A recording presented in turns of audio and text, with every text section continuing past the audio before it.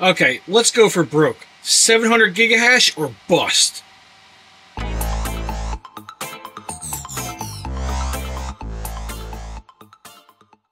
So yeah, I decided to screw it. Let's try it. Let's see if I can really hit 700 plus gigahash with the last firmware. I haven't tried from T-Swift.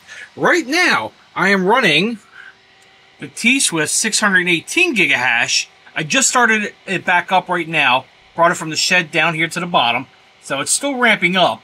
But for the 700 gigahash, we should be looking at 280 to 300 watts of power consumption. Now, for my unit, that will probably be true 280 to 300 but at the same time remember i'm also running my front cooling fan focus focus right there thank you i'm running mine through the 19 volt system so once i ramp this all the way up to 12 volts which i'm gonna have to there's no ifs ands or buts about it we need maximum airflow if we're going to try 700 gigahash this is probably going to pull easily 20 watts. So, whatever his numbers show, at least for me, inflate him by 20 watts. So before we flash the firmware, we must stop the monitor. It'll screw up. So, there we go. Now that's stopped. It's not accessing the KS0 Ultra anymore. Let's go on over here. And let's select, let's try the 700 gigahash low, because I've been lucky so far. Mine has actually worked on all the rest of the lows so far. So we might be able to save a few watts here. Let's upload.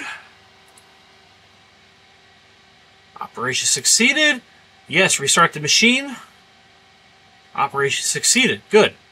Now, while we're waiting for this to restart, make sure you got yourself a power supply that can really handle this. Like this one, 330 watts, and we're going to push this to the limit.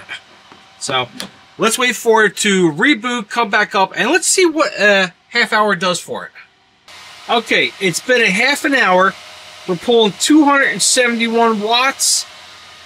We are getting 714 gigahash. Let me unplug this thing so you guys can actually hear me. Oh, that's so much better. That thing runs at 86 decibels when you're running it at full 12 volts and 5300 RPM or something like that. It's like 210 CFM. It's a proper ASIC fan, but it's loud. We might have something for that here real soon. Back to the numbers.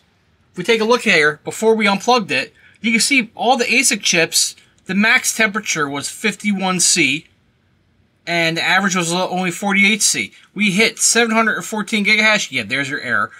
Uh, 30 minute was coming on up, and zero issues.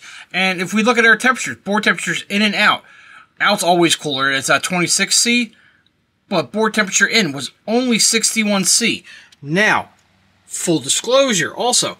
So what I did is I moved the little tiny heat sinks, because that's the only thing that'll fit back here really tightly, is on the bottom of the MOSFETs where the exposed gold plating is. That's also a heatsink surface for them. And right where the MOSFETs actually are, we're going to mount these instead. These are, see here, 14 by 9 by 4 millimeter heat sinks. And we're going to spread them out lengthwise, so hopefully it gets more surface area and should get more heat dissipation on both sides.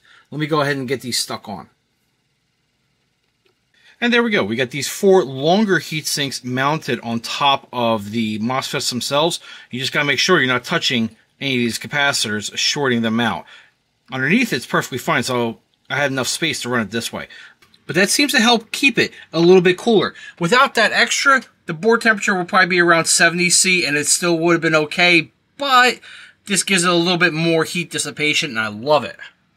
So, as for the noise, I got a new product in, which will be my next video, that should encapsulate this whole thing and use quieter fans, and we'll test it all the way up to 700 gigahash and see if it effectively cools it at a much quieter level.